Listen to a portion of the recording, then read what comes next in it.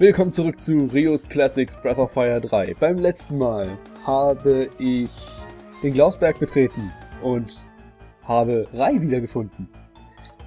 Allerdings wissen wir jetzt auch, also Tipo und ich, warum Rai überhaupt hier hochgeschickt wurde. Denn hier gibt es ein Bergmonster, das regelmäßig in den Wald kommt und die und ein paar der Tiere dort reißt.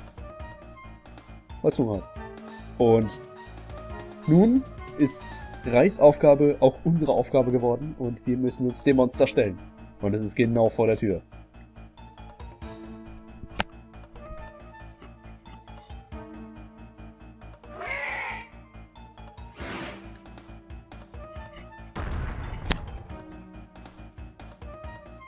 Er steht früh auf, oder?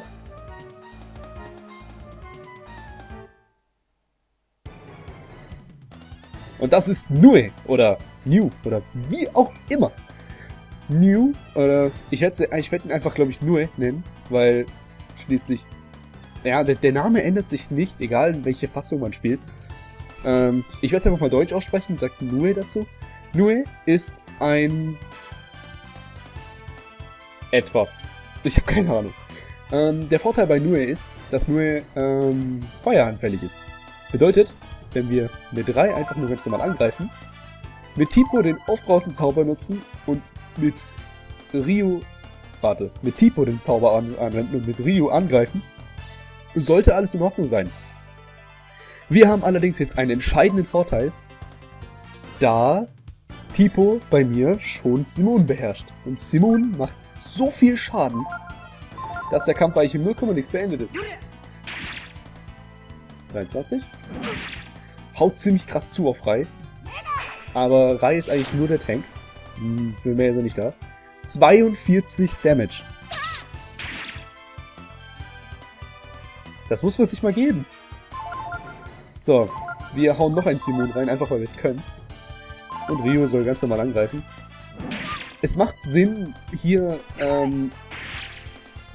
Wow. es macht Sinn, hier auch mit Ryu Schutz anzuwenden. Normalerweise. Da ich aber so kack viel Schaden mache, ist es eigentlich völlig egal. So, ähm, ich denke, es müsste fast schon gegessen sein. Deswegen mache ich jetzt keinen Simon mehr. Einfach nur, um meine MP zu sparen. Und Nui flüchtet. Das ist nämlich der Punkt. Wir können Nui hier nicht töten. Kommt, ihm nach! Der Feind ist geschlagen. Wir bekommen keine EP dafür, weil wir ihn ja nicht gekillt haben. Und wir müssen ihm jetzt folgen, denn Nue flüchtet. Wir werden erstmal diese Statue nutzen, die die Leute, die die alten BOF-Teile gespielt haben, noch kennen sollten. Das ist die Drachenstatue. Die typische Drachenstatue, ähm, an der man in alten Spielen immer gespeichert hat. Ich möchte hier einmal kurz speichern, einfach nur um den Fortschritt mitzunehmen, dass wir Nue schon abgewehrt haben. Speichern hier drüber. Mein Gott, so lange habe ich nicht gespeichert. Tada! So, und wollen hier oben lang. Da oben ist noch ein Item, das möchte ich noch mitnehmen. Das wird mich allerdings Zeit kosten. Ein schöner Trick hier übrigens, falls man den Gegnern aus dem Weg gehen möchte, was ja eigentlich kaum möglich ist durch die Random Encounter Rate, ähm, ist die Tatsache, dass... Moment. So. Dass man, wenn man am Rand läuft, eine geringere Chance hat, dass Gegner spawnen, weil das Kampffeld dann zu klein ist. Heißt also, wenn man ähm, den Gegnern aus dem Weg gehen möchte, immer am Rand laufen, weil dann kommen keine Random Encounter, weil das Kampffeld eben wie gesagt zu klein ist. Die Random Encounter kommen nämlich erst, wenn genug Fläche zum Kämpfen da ist. Und die Fläche ist nicht da, wenn man am Rand läuft. Finde ich sau cool. Also wenn man es mal weiß, dann ist das sau praktisch. Und ich würde auch nicht unbedingt behaupten, dass es Cheating ist, weil an sich... Es ist ja ganz praktisch, wenn man die Random den Random Encounter entgehen kann. So. Feind ist besiegt. Ähm, Reihe nachzuleveln macht hier keinen Sinn, eigentlich. Weil... Ach, das war dieses Ding des Alle halt, ne? Ähm, einfach nur, weil eigentlich der Schaden, den wir mit dem Tipo macht, schon völlig ausreicht. Tipo ist eigentlich wirklich tatsächlich der Einzige, der wirklich richtig Schaden macht durch seine Spells. Ein Gonghead, den machen wir noch mehr. Und... Tschüss. Interessant auch übrigens, dass Tipo mittlerweile mehr Schaden macht als Rai. Obwohl sie die gleiche Waffe tragen. Aber gut, es liegt halt einfach daran, dass Tipo zwei Level höher ist. So.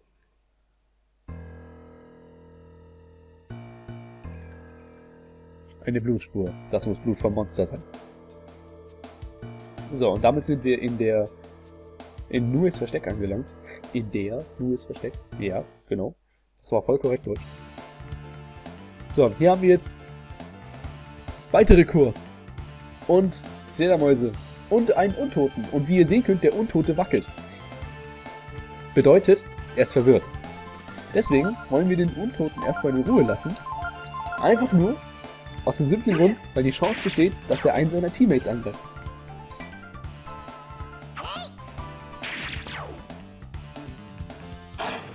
Es sei denn, Ryu ist jetzt so intelligent und greift den Körper an. Äh, den, den Untoten meine ich. Gut, macht aber nicht. Und der Untote tut genau, was er soll und killt den Curve fast. Ähm, wichtig ist hier noch zu sagen, Untote reagieren sehr giftig auf Heilmagie. Ähm, bedeutet, theoretisch könnte ich den Untoten jetzt einfach zu Tode healen. ja, es ist genauso blöd, wie es klingt, aber es stimmt. Und Untote haben einen Aktivitätswert, also einen, äh, einen Geschwindigkeitswert von 0. Das ist auch noch sehr wichtig. Ach komm. Okay, Rai, Rai ist hier echt gut. Naja, gut. Was soll's. Äh, hier wollen wir jetzt noch nicht... Oder wollen? Doch, hier wollen wir lang. Da, da, da, da, da. Hier war, glaube ich, der Baumteil. Ja, genau. Ist ja was hier? Fandest? Chromsäbel. Äh, der wichtig ist. Tatsächlich. Den werden wir nämlich für was ganz, ganz Besonderes aufheben. Nämlich einen Trick. Und den Trick, den zeige ich euch, weil den nutze ich auch.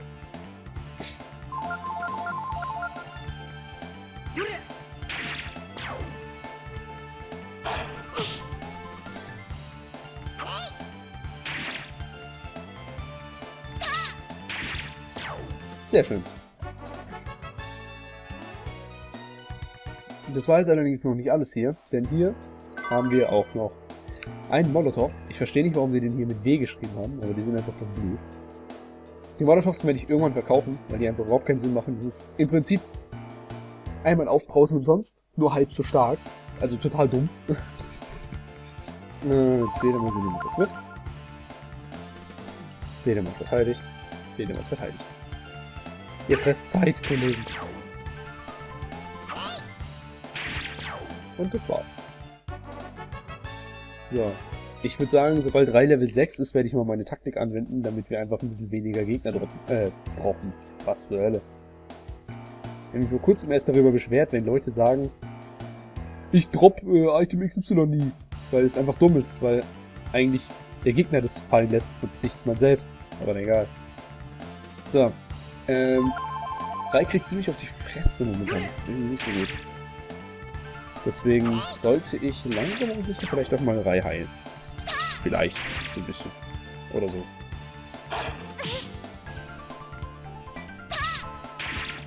Tada! Und Rai ist Level 6. Wunderbar. So, dann möchte ich einmal kurz Bios heilen abusen. Einfach nur dafür. So, jetzt wollen wir erstmal hier runter. Denn hier... Nee. Zu viele Gegner.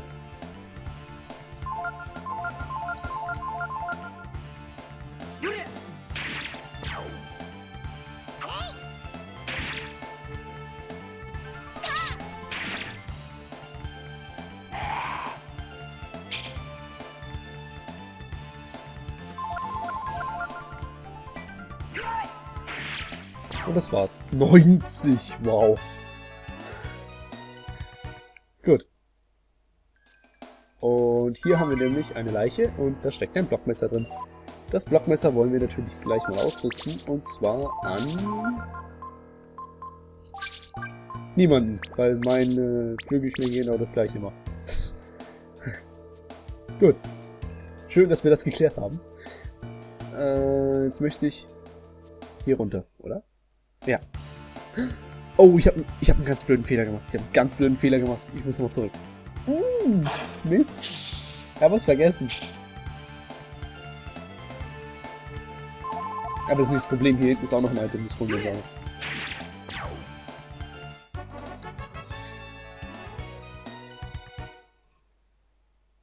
Und zwar ist hier noch ein Talisman. Und den rüste ich Rio aus, weil Rio der wichtigste Charakter bei mir ist. Also den rüste ich mir selbst aus. naja. Quasi. So. Und jetzt müssen wir nämlich nochmal runter. Ich habe nämlich noch was vergessen. Hier müssen wir lang. Ja, Blutspur folgen, ne? Macht Sinn, glaube ich. Irgendwo. Weitere Curve. Der mit einem Schlag weg ist. Es ist halt wirklich einfach nur lächerlich. Die, die, die Gegner sind einfach nur lächerlich, wenn man wirklich ein bisschen, ein kleines bisschen äh, überlevelt ist. Mhm. Genau. Die, die Blutspur endet hier. Und hier bekommen wir nochmal 200 Zenny, das ist sehr schön. Und hier kann, glaube ich, gar kein Kampf drin. Ja.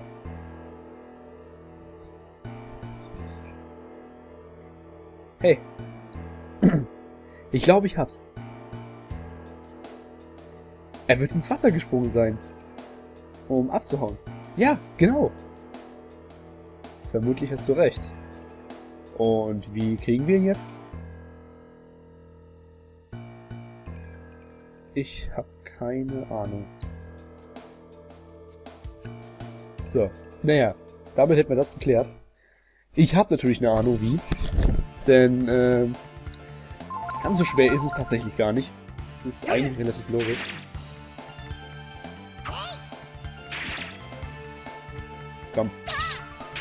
Ja, sehr schön. So will ich das haben. Gott, die bringen nur 3 EP. Hilfe. Jetzt gehen wir nämlich wieder nach oben. Und hier lang.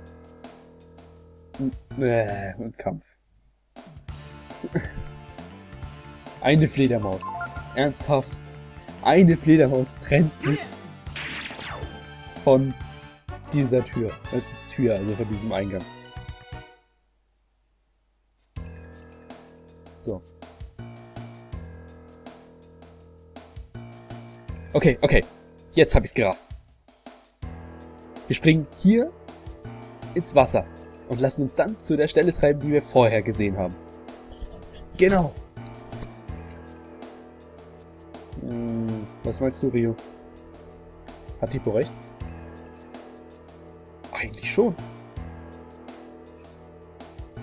Okay, Rio. Du springst als Erster rein. Was? Okay.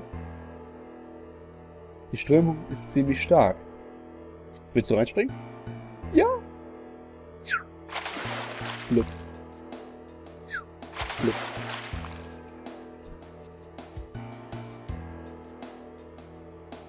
Und wir kommen genau da an, wo wir vorhin schon die Höhle gesehen haben.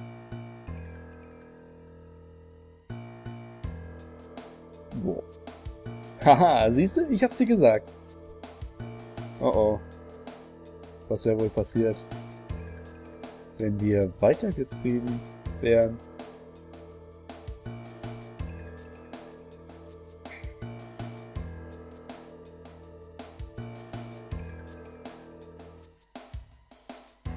Ich vermute, es hat geklappt. Gehen wir. Und hier geht nämlich auch die Blutspur weiter. Heißt, wir sind richtig. Und bevor wir hier weitergehen, Nee, doch, geht eigentlich.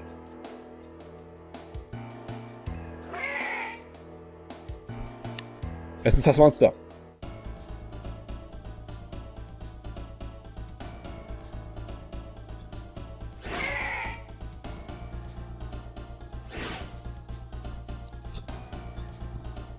Er sieht ziemlich geschafft aus. Das ist doch wohl einfach, Rai. Ich hoffe es. Naja. Und der Kampf gegen Nue geht weiter. So, äh, Nue hat jetzt einige Sachen dazugelernt. Zum einen ist es, glaube ich, der, New, der Nue Tritt, der immer unterschiedlich Schaden macht. Und Nue kann sich nun auch rächen. Bedeutet also, dass wir am besten unsere MP von Ryu ein bisschen aufsparen, um Rai heilen zu können, da Rai nämlich tankt. So, mit Tipo wollen wir wieder Simon machen, weil es einfach scheiß viel Schaden macht. Und einmal Schutz auf Rai mit Ryu.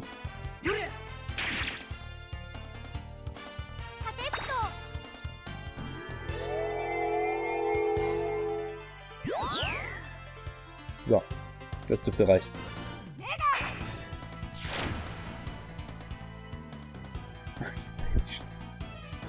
Nur tritt. Auf wen? Auf mir klar. Weil Rai tankt. Und es hat nicht mal getroffen. Oh Mann. Oh Gott. Ihr macht's mir zu einfach. Rache. Ja, das dachte ich mir. Und nochmal. Wow. Na gut, beim nächsten Treffer heile ich ihn einfach. Also so viel dürfte Nue gar nicht aushalten. Es gibt einen Indikator, der zeigt, wie viel HP Nue noch hat. Ähm, wenn er kommt, werde ich es euch sagen. Nue heult wie eine Furie. Problem ist, dass wir sie jetzt schnell killen müssen. Denn ansonsten beherrscht sie nämlich nun eine Attacke. Sie ist tot. das war's. Ähm, das Problem ist, in der letzten Phase beherrscht nur eine Attacke namens Ruck. Das ist ein Donnerangriff gegen alle Ziele. Und das kann ziemlich böse enden. Es ist tot.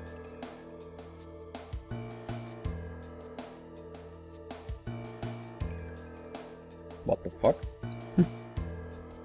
Es ist im Stehen gestorben, als ob es so die Höhle hinter ihm beschützen wollte.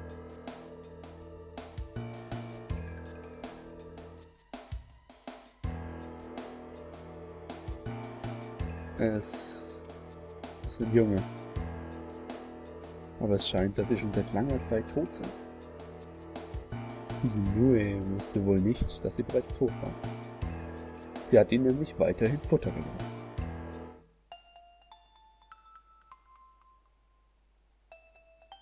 Mann. Das war nicht gerade sehr helle, oder? Ich meine, ihre Jungen waren schon tot.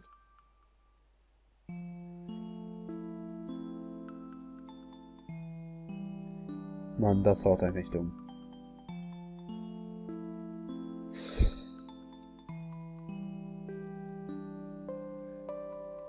Ja. Heftig, wa? Heißt also im Grunde genommen hat Nui nichts anderes gemacht, außer seine Jungen zu füttern. Das Ganze brachte nur leider zwei Probleme. Zum einen war Noe eine Gefahr für das Dorf. Und zum anderen hat's gar nichts gebracht, weil sie eigentlich gar nicht mehr im Leben waren. Nur hat Noe das nicht gerafft. Das ist eigentlich echt schade. Sieht so aus, als ob dich die Strömung fortreißen wird, wenn du hineinspringst. Willst du springen? Ja, bleibt nichts anderes übrig.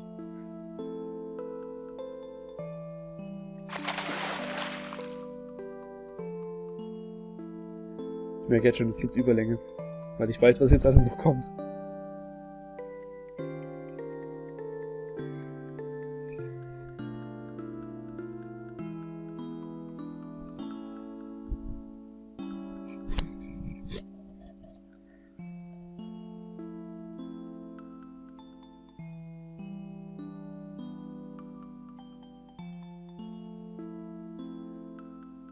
Wie fühlt man sich, wenn man mal richtige Arbeit leistet? Hm? Richtige Arbeit, Witzbold. Wenn der Frühling kommt, erscheinen auch die Tiere wieder. Und das Leben wird angenehmer. Gratuliere, ihr habt eure Arbeit gut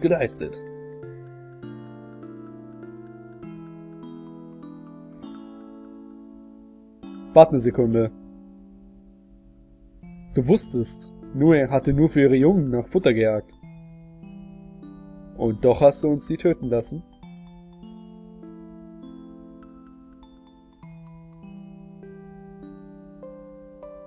Wenn ihr gewusst hättet, dass sie Junge hat, hättet ihr Nue dann am Leben gelassen? Das ist eine gute Frage. Weil das ist genau das, was ich meine mit den zwei Faktoren. Der Nachteil.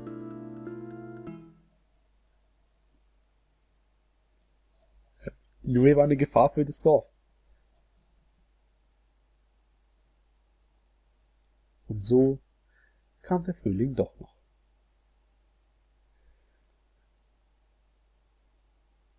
Der Frühling kam in die Berge und Wälder und zu den Menschen.